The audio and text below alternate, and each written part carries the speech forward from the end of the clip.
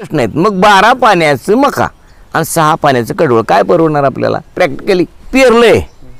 शंभर एकर पेरलं उगवलंच नाही आणि त्यात वैरणच एवढी आली. ते शंभर एकर सुद्धा पुरणार नाही. एक एकर क्षेत्र तुम्ही ठेवलं तर तुमच्या दहा गाई आरामात जगतात. बोरं पंचवीस एकर. जी जमीन आपण बसलो तिथं माझी पंचवीस एकर बोरं होती. सगळी बागायती पिकं करून सगळे करून बसलो कुठल्याही मालाला हुकमी बाजारपेठ नसल्यामुळे सगळं सोडून दिलं आणि गाईवर बसलो सहा वीस वीस वीस. मी कमी ॲव्हरेज धरला. साठ टन वैरण तुम्हाला सहा महिन्यात मिळाली. काय? मुरगासानं दहा लिटर दूध हिरव्या वैरणीला देत असेल तर मुरगासानं एक लिटर दूध वाढतं म्हणजे वाढतंच. शंभर टक्के दूध एक लिटर दूध वाढतं. मग त्याचा खर्च निघून जातो आपला. त्या सीझनला ते पेरायचं आणि मुरगास करायचा. मुरगास का करायचा? तर वैरण उभी आहे. जनावर इथं आहेत. आणि आठ दिवस सतत पाऊस लागला. काय करायचं? म्हणून मुरगास. पाणी. Mega sheet. तुम्हाला टाकालाच येते साठ पासष्टाव्या दिवशी. पण मुरगास करायचा असेल तर ऐंशी दिवस. मी शिवानंद दत्तात्रय होनमोठे मुक्काम पोस्ट कळमन तालुका उत्तर सोलापूर जिल्हा सोलापूर येथील शेतकरी आहे आणि गोपालक आहे. मला दोन हजार सातमध्ये आदर्श गोपालक दोन हजार चारमध्ये तालुका कृषी निष्ठ आणि दोन हजार अठरामध्ये पुन्हा एकदा आदर्श गोपालक जिल्हा जिल्हा लेवलचा असं दोन तीन पुरस्काराने सन्मानित केलं आहे या गाईच्या कार्याबद्दल. चारा करायचा आहे मग आपण ज्वारीवर्गीय चारा वर्षभर कधीही पिरू शकतो. पावसाळ्यामध्ये जर तुमच्याकडे जास्त खोडकीड येत असेल तर बाजरी पिरू शकता. त्याच कंपनीची आडवांड कंपनीची न्यूट्रीफीड नावाची बाजरी आहे. माझ्याकडे सगळी व्हरायटी आहे तुम्हाला बघायला मिळतील. तर तो पेरायचा. मेगाशीटच्या बद्दल तुम्हाला सांगतो. मेगाशीट तुम्ही अठरा इंची टिपणीने पेरायचं. ज्वारी आपण बागायत करतो अठरा इंची टिपणीने पेरायचं. एकरी पाच किलो बी सोडायचं. एक पोतं डी ए पी पेरायचं. बाराव्या दिवशी एका बॅरलला शंभर मिली टू फोर्टी दोनशे ग्रॅम अल्ट्राजिन हे मिक्स करून बाराव्या दिवशीच मारायचं. फवारणी करायची. जेणेकरून त्या रानामध्ये गवतच येणार नाही. पुढं गेलं तर गवत मोठं होतं मोठं गवत झालं डोस वाढावं लागतं डोस वाढवलं की त्या त्या पिकाला ते दणकात येते आपलं सोयाबीनमध्ये सुद्धा बघा तणनाशक मारा असं करते जरा. कल्टी मारते तर जास्त प्रमाण नको आहे. मग माझ्या प्रमाणाने जर तुम्ही मारलं तर कडवळा काय होत नाही. गवत जळत नाही पण तसंच बसते एक महिनाभर. कोमात जाते तरी एवढं राहिलेलं. आपलं वर निघून जाते विषय आपल्याला काय पाहिजे? तणमुक्त आपली जमीन. विसाव्या दिवशी कोळपण. राहिलेलं ते भरून जाते आणि एक युरिया. आणि जरुरी प्रमाण तुमच्या निसर्गाप्रमाणे पाणी. तिसाव्या दिवशी पुन्हा एक युरिया. आणि तुमच्या तुमच्या पद्धतीनं पाणी. मेगाशीट तुम्हाला टाकायला येते साठ पासष्टाव्या दिवशी. पण मुरगास करायचा असेल तर ऐंशी दिवस. त्यांनी निसवून त्याचा चिकात यावं लागतं आणि असं टाकायचं असेल तर तुम्ही सत्तर पासष्ट सत्तराव्या दिवशी टाकू शकता. आणि अशा पद्धतीने तुम्ही ती वैरण करायची. आता एक नवीन एक बियाणं आलं माझ्याकडं. त्याच कंपनीचं मी आणलं आहे ब्रॅकेटिक स्वर्गम ब्रॅको स्वर्गम म्हणून नाव त्याने टाकलं आहे एक हजार रुपये किलो बी आहे त्याचं. ते लागतं एकरी तीन किलो. ते सा साठाव्या दिवशी निसवतं आहे दुसरी कापणी पंचेचाळीस दिवशी येते. तिसरी कापणी फक्त पंचे दीड महिन्यात येते. आणि एकरी वीस टन निघते जाड आहे. वजनदार आहे. कुट्टी चांगली पडते. आणि मेगाशीट फार उंच जाते. ते उंच जात नाही पडतच नाही खाली. कापणीला फार चांगलं सोपं आहे. आणि जनावरं तेवढीच दूध देतात. मग ही जी आहे ज्वारीवर्गीय याची तुम्ही पेरणी करायची. आ- आणि मुरगा जर करायचा असेल तर आपली ज्वारीची पेरणी आपण कधी करतो? हस्ताच्या. हस्त नक्षत्रावर करतो. किंवा सप्टेंबर नंतर ऑक्टोबरमध्ये करतो. त्या सीझनला फार चांगलं येते. त्या सीझनला जास्त करायचं. त्या सीझनला आपल्याकडे पाणी असते त्या सीझनला जमीन असते त्या सीझनला ते पेरायचं आणि मुरगास करायचा. मुरगास का करायचा? तर वैरण उभी आहे. जनावर इथं आहेत. आणि आठ दिवस सतत पाऊस लागला. काय करायचं? म्हणून मुरगास. उशा उशाला आपली जी भाकरी आपल्या उशाला आहे. दुसरं एक आहे. ही वैरण आज आहे. ही अशीच निसवलेली स्थितीमध्ये पंधरा दिवस राहत नाही.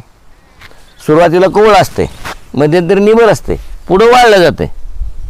सगळ्या स्टेजेस ज्याच्यामध्ये जास्तीत जास्त पौष्टिकता असेल त्या दिवशी तोडून मुरगास होतो. पण ती आपण रोजच्या तोडणीला वापरू शकत नाही. तो एक फायदा तो एक फायदा आणि दुसरं एक आहे मुरगासानं. दहा लिटर दूध हिरव्या वरील देत असेल तर मुरगासानं एक लिटर दूध वाढतं म्हणजे वाढतंच. शंभर टक्के दूध एक लिटर दूध वाढतं. मग त्याचा खर्च निघून जातो आपला. लक्षात आलं तुमच्या? त्याचं कारण दूध वाढण्याचं त्याची पौष्टिकता त्याची पचनीयता ते लोणचं तयार होते ते पचायला हलकं असते. कधीही मुरगासानं पोट फुगत नाही. हो. अशा अशा पद्धतीची व्यवस्था तुम्ही ते जे वैरणी तयार करावं लागतील. वया वैरण तयार करा. आता मला एक सांगा. सहा वीस वीस वीस. मी कमी ॲव्हरेज धरला. साठ टन वैरण तुम्हाला सहा महिन्यात मिळाली. साठ टन वैरण सहा महिन्यात मिळाली. एकशे वीस टन वैरण तुम्हाला एक वर्षात मिळाली. एकशे वीस टनाचे. दीड रुपयानं. एक लाख ऐंशी हजार होतात. ऐंशी हजार खर्च होईल का? त्या पिकाला करायला. होईल का? ऐंशी हजार खर्च ज्वारीला होत नाही. साधारण पन्नास एक हजार होईल तीन कापण्याचा. साठ हजार धरूया आपण तीन कापण्याला वीस वीस हजार रुपये. एक लाख वीस हजार रुपये तुम्हाला त्या शेतीचे तुमची शेती माझ्या गाई मी तुमच्या शेतीची वैरण विकत घेतली. मला दीड रुपये किलो वैरण मिळाली. आणि एवढे पैसे कुठे सोयाबीनची होत नाही तुरीची होत नाहीत कशी होत नाही आपण सव्वा रुपयासुद्धा हिचं कॉस्टिंग धरू शकतो. बरोबर. सव्वा रुपयासुद्धा ह्याचं आपल्याला ती पडते. तरीसुद्धा एक लाख रुपये तुम्हाला मिळतात. सव्वा रुपयासुद्धा दीड लाख रुपये होतात. पन्नास हजार खर्च वाजवता एक लाख रुपये मिळतात. मग कुठल्या जमिनीचे ज्वारीसारख्या पाच पाच पाणी देऊन एकदाच पेरणी करायचे सहा महिने एकदा पेरणी करायचे सहा महिने. ऊसाचे सुद्धा पैसे एक लाख रुपये होत नाहीत. तुमच्या सोयाबीनची होत नाही तुरीची होत नाही. मी शेतकरीच आज मी पंचायतीवरती सगळी शेती पिकं केलीत. द्राक्षे बघा द्राक्षे एक्सपोर्ट केलीत मी. द्राक्ष पिकाला माझ्या मी प्रदर्शनामध्ये पहिल्यानं बक्षीस मिळवले डाळिंब कलकत्त्याला पाठवले दि दिल्लीला पाठवले बोरं पंचवीस एकर जी जमीन आपण बसलो तिथं माझी पंचवीस एकर बोरं होती. सगळी बागायती पिकं करून सगळे करून बसलो. कुठल्याही मालाला हुकमी बाजारपेठ नसल्यामुळे सगळं सोडून दिलं आहे आणि गाईवर बसलो आहे मार्केट दारात आहे. गिराईक दारात आहे आणि हाताने घेऊन जातोय. म्हणून हा व्यवसायावर मी बसलो. पण तुम्हाला सगळं गणित वैरणीजवळ येतं आहे आणि चांगली स्वस्त वैरण तुम्ही उपलब्ध केली तर तुमचा व्यवसाय हा फायदेशीर आहे. बरोबर. अजून एक मी तुम्हाला प्रश्न विचारतो यांच्या सुद्धा मनामध्ये प्रश्न आहे. किंवा मला पाच सहा गाई दहा गाई कमीत कमी करायच्यात? हो. तर दहा गाईसाठी मी किती क्षेत्र राखून हा? सांगतो. आणि काय काय प्र- किती प्रकारचा चारा त्याच्यामध्ये लागवड केली? अगदी अगदी. आता तुम्हाला दहा गायी करायचे दहा गाईला तुम्ही एक दहाच गुंट दहा ते पंधरा गुंट दशरथ गवत एका साईडला करून ठेवायचं. द्विदल की जे दहा वर्ष चालते आणि गंमत सांगतो. आपली जी वैरण आहे मेगा स्वीट किंवा ब्रेकडी स्वर्गम एकराला वीस टन येते एका कापणीला वीस टन येते. दुसऱ्या कापणीला वीस टन येते तिसऱ्या कापणीला वीस टन येते मग ह्या कापण्या सहा महिन्यात साठाव्या दिवशी वीस टन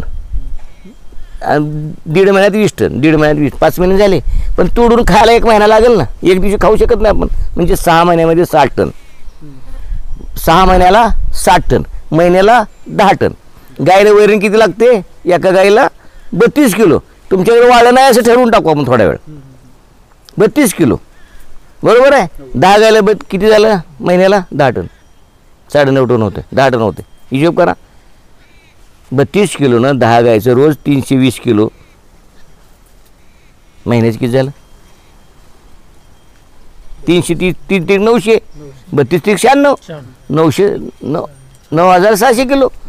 दहा टन म्हणजे एक एकर क्षेत्र तुम्ही ठेवलं तर तुमच्या दहा गायी आरामात जगतात. सर काय काय म्हणते ते? चार एकर क्षेत्र लागतंय पाच एकर त्याबद्दल काय सांगा आता पेरलंय. शंभर एकर पेरलेलं उगवलंच नाही आणि त्यात वैरणच एवढी आली. ते शंभर एकर सुद्धा पुरणार नाही. बरोबर. तुमच्या करण्यावर आहे. मी काय सांगितलं की ही वैरण मी काढतो वीस टन. माझ्या एखाद्या चांगल्या शेतकऱ्यानं पंचवीस टन काढली आणि त्याच्यापेक्षा चाळीस टन काढली. म्हणजे क्षेत्र तुम्हाला वैरण लागणार किती? त्याच्यावर क्षेत्र आहे. आणि तुम्ही ती वैरण तेवढी काढावी लागेल. नाही काढली तर मग कुठलं पुरणार आहे? नाही पुरणार. बरोबर आहे. आणि त्याच्यामध्ये मी ते दहा गुंठ जास्त का ठेवलं? तुमच्या वैरणीमध्ये काय कमी झालं? तर ते वीस टक्के आहेच की तुम्हाला त्यात मिसळायला. दुधेल बरोबर. बरोबर आहे. म्हणून त्याच्यामध्ये कुठल्याही घसरा न बसता ती जमीन तुम्ही तयार करावी लागते. एक एकर जमीन. चांगली पोसायची. कंपोस्ट खत घालून फवारणी करून आणि त्याची सहा महिने झाली की दुसरी सहा महिने ती दुसरी जमीन पेरायची. विकतचा सारा घेऊन दूध व्यवसाय परवडतो? विकतचा चारा घेऊन दूध व्यवसाय परवडतं असं म्हणणारे लोक थोडंसं खोटं बोलतात. का? विकतचा चारा तुम्हाला पाहिजे तसा पाहिजे तसा पाहिजे तिथं मिळणारच नाही. बरोबर आहे? वाहतूक. एक मिनिट. इमर्जन्सीमध्ये विकतचा चारा असू द्या. पण सतत विकतचा चारा घेऊन नाही परवडणार. कंटाळून जाल तुम्ही. रोज कोणाच्या दाराला जायचं? आणि ज्याच्याकडे उपलब्धी जास्त आहे तो कमी भावात देईल. उपलब्धी कमी झाली त्याचे भाव वाढवतात. मग नाही परवडणार. वाहतूक त्याची तोडणी ती जाऊन आणायचं तोडून ट्रॅक्टरनं स्वतः. आणि कायम त्याच्यामध्ये बांधून राहावं लागतं मग ते प्रॅक्टिकली होत नाही. गाय व्यवसाय दूध व्यवसाय करणारे जवळजवळ सगळे शेतकरीच आहेत. बरोबर आहे. शेतकऱ्याशिवाय हा गाय दूध व्यवसाय कोणी करतच नाही. आणि शेतकरी म्हणलं तर त्याच्याकडे दोन एकर चार एकर तीन एकर पाच एकर जमीन असतेच आहे. वार्षिक बागायत नसू द्या तुम्हाला? एक एकर बागायत किंवा हंगामी बागायत आहे मग? हंगामी बागायत्यामध्ये मुरगास करून ठेवायचा. दहा महिने पाणी आहे नऊ महिने पाणी आहे आठ महिने पाणी आहे. चार महिने तुम्ही कुठेतरी विकत घेऊ शकता. तुम्हाला आत्मनिर्भरच व्हावं लागेल. मग कुठंतरी बाबा फारच पाणी नाही पाणी संपलंय मग तेवढा एखादा दुसरा महिना कुठंतरी वैरण. किंवा मला कमी पडल्यास मी काय करतो? मला जर अंदाज आला आपल्याला वैरण यावर्षी आपलं गणित चुकतंय तर मी काय करतो? यांच्या शेतकऱ्यात तुम्हाला पाणी आहे. मोठे शेतकरी आहेत. तुमचा पसारा मोठा आहे. तुम्हाला जमिनी होत नाहीत. मी ही बी घेता का? माझं ट्रॅक्टर पाठवू का?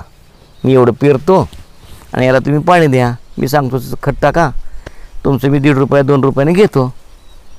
तर यावर्षी मी शंभर टन चारा असा दीड रु सोळाशे रुपये टनाने घेतला. आणि मुरगास केला. आमचं डीपीच जळली तीन वेळा जळली एक महिना पीक होतं उभं. त्यावेळेसच जळली. मग पुन्हा पुन्हा काय करायचं? हंगाम गेला वाया. मग अंदाज चुकतो आहे आपलं गणित चुकतोय. मग शंभर टन करून ठेवलं मुरगास त्यांचा घेतला. आणि दीड सोळाशे रुपये टनानं. दीड रुपये किलोनं. मग विकतचा पण परवडतो. पण मग असं कुठंतरी कॉन्टॅक्ट शेतीसारखं त्याला आपलं बी द्यायचं. त्यांचं असेल ते नाही आणायचं. आपलं द्यायचं. आणि मग तशा पद्धतीनं आपलं वार्षिक नियोजन करायचं. सर मका व्यतिरिक्त तुम्ही मुरगास कोण्या कोण्या पिकाचं करता? जसं की मेगा स्वीट असेल त्याबद्दल काय सांगा काही वेळेला आपली ज्वारी एका शेतकऱ्याने गेल्या वर्षी आपली पस्तीस एक मालदानी ज्वारी पेरली. आणि एवढं ते सोयाबीनची जमीन होती. पंधरा चौदा पंधरा फूट उंच गेली ती. आणि एक वाराला पाणी द्यायला बरोबर सगळी ज्वारी खाली रुळली. मला म्हणलं आता ह्याला ह्याला दाणे भरत नाहीत म्हणला. याचं मला घेऊन जा मला तुम्ही. मग त्यानं त्याचं गणित काढलं. ज्वारी किती कडबा किती खर्च किती. आणि त्या हिशोबाने त्याने मला ते सोळाशे सतराशे रुपये टनानं दिलं. आणि आपली ज्वारीचं पण मी मुरगास करतो. त्या ज्वारीचा मुरगास करतो मॅगाशीटचा मुरगास करतो याच्या अगोदर शुगर गिरेचा मुरगास केला मक्याचा मुरगास करतो. मक्याचा पण मुरगास होतो नाही असं नाही चांगला होतो. पण मका ही पीक भाग असल्यामुळं आपण टाळतो.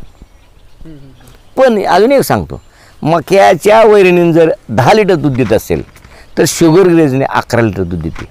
शुगर या मेगाशीटने अकरा लिटर दूध देते. मेगाशीटने जर अकरा लिटर गाय दूध देत असेल तर त्याच्या मुरगासानं बारा लिटर दूध देते. मग मका करायचे का? कमी पाण्याचं कडवं करायचं. आपल्याकडं तर मूळ पाणी नाही. जर पाणी आहे तर लाइट नाही. दोन्ही प्रश्न आहेत. मग बारा पाण्याचं मका आणि सहा पाण्याचं कडवळ काय परवडणार आपल्याला? प्रॅक्टिकली. कडवळ आणि याचंच मी मुरगास करतोय. शेवटचा संदेश काय चाऱ्याच्या पिकाबद्दल शेतकऱ्यांनी आता त्या कंपनी मी जाहिरात करत नाही. अनेक कंपन्याची मी वैरणी पेरल्या.